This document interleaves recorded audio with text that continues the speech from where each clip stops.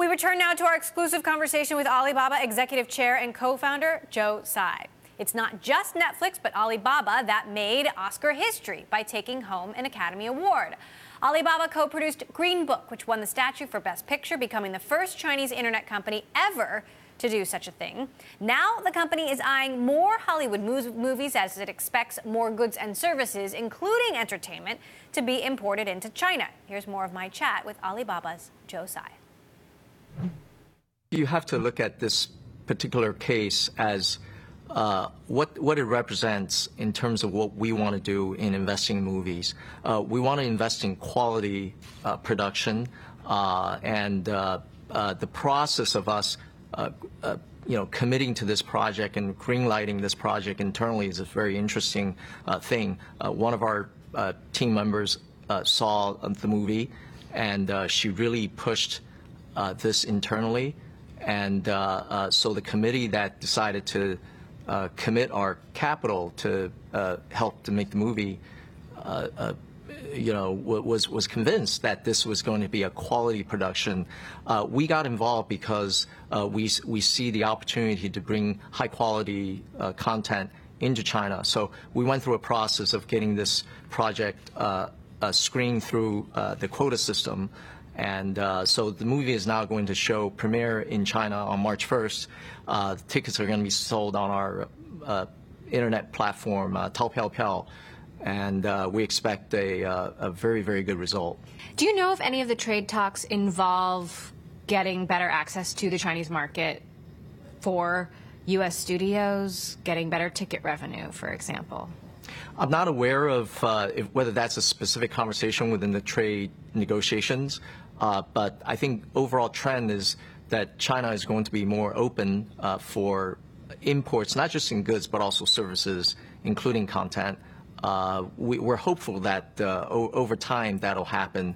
As I said, $10 trillion of services over the next 10 years, service imports into China. that's going to be very exciting. And are Chinese officials encouraging Alibaba, encouraging Chinese companies to invest in U.S. entertainment? Uh, currently, uh, all the decision making we make on investing in uh, overseas, whether it's imports or content or things like that, is driven by our company management. Uh, uh, we just may think that uh, in this particular case, in the case of the Green Book, it makes a lot of sense for us to make that investment. Um, six months until Jack Ma steps down as chair. How is the transition going, and how does the company change once that happens? Well, the whole thing about a transition is that the company doesn't change.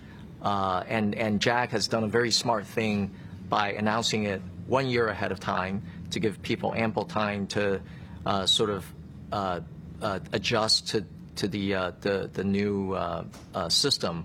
And the great thing is we have a great CEO in place, Daniel Zhang. He's been the CEO of the company for over three years. He's going to take over as executive chairman of the company. and he's been with the company for, I think, 12 years now and uh, see uh, someone who is sort of homegrown, developed within our system. We're very, very proud that we've been able to take uh, our younger executives and develop them into leaders.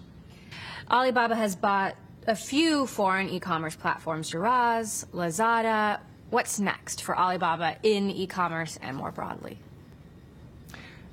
Well, we, it, from an e-commerce standpoint, I think uh, you know if we're accessing uh, local market consumers. Uh, we like uh, Southeast Asia and South Asia, South Asia and uh, these are the markets that we want to focus on. Uh, so the platform of Lazada, with uh, being operating in operating in six countries, will be the focus over kind of the near to medium term.